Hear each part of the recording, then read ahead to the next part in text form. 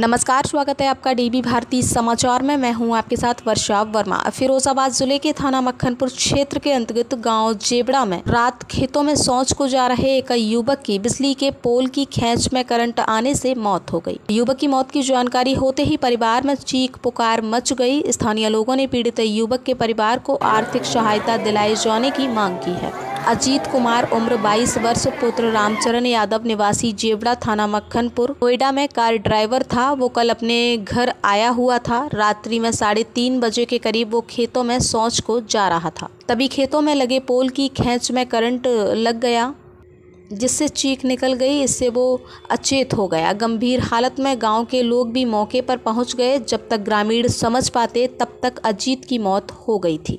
ग्रामीणों ने बताया कि वो घर में दो भाइयों में सबसे बड़ा था। उसकी एक बहन सोनी थी, जिसकी शादी हो चुकी है।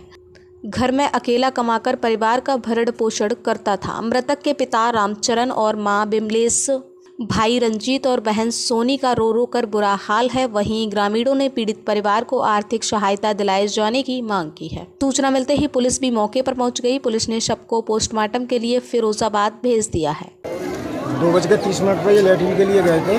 क्या बजे गए थे ये? दो बज कर तीस मिनट पर। ठीक है फिर क्या तो मालूम पड़ी? वहाँ पर सामने मकान था तो उन्होंने जब सूचना उनकी चीख सुनने पर आवाज़ दी तो वहाँ अरुण नाम के थे उन्होंने आवाज़ दी फिर शोरगोल हुआ हम लोग सब पहुँचे। और पहुँचने पर हमने देखा तो विद्युत तार से वो हमें ज़मीन पर डली मिली। ये किसमें करंट आ रहा था ये? ये जो ज़मीन से तार लगे हुए थे उससे विद्युत में से तार आ गया। खेत में गाय के लिए रोकने के लिए तार लगाया। इसकी सूचना भी कभी दी थी विभाग को? जी साहब इसकी यह सूचना क्या देते थे तो गायों के लिए व्यवस्था कर दी है किसानों ने। हम्म, सूचना दी अभी इसका क्या नाम है ये? अजीत नाम था इसका।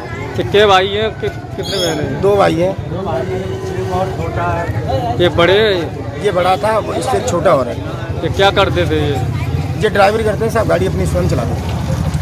यहाँ पर कौन कौन आया? अब ये कोई आया बिजली विभाग से? कोई कर्मचारी अभी तो साहब कोई नहीं आया है। पुलिस मौके पे है? हाँ जी पुलिस मौके पर है।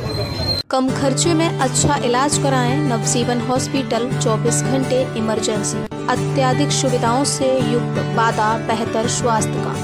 डिलीवरी नॉर्मल एवं ऑपरेशन द्वारा कराने की सुविधा है। पित्त की थैली में पथरी का ऑपरेशन एवं गुर्दे पेशाब की थैली में पथरी का इलाज दवाइयों द्वारा किया जाता है। हृदय रोग ब्लड प्रेशर शुगर नींद न आना, श्वास फूलना, पेट एवं छाती के रोगों का इलाज कुशल चिकित्सक की देखरेख में किया जाता है। पता रेलवे लाइन के किनारे निकट दाल मिल पैमेश्वर गेट रेलवे पुल के पास नया रसूलपुर, फिरोजाबाद। निदेशक श्री राम गोपाल वर्मा जी।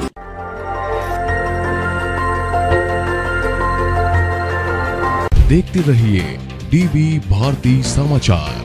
नज़र हर खबर पर।